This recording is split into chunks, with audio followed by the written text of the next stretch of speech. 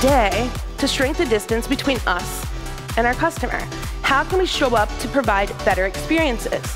What does that look like? Out care the competition and you can grow your brand because relationships are the currency of business and experiences are the transactions that we're exchanging.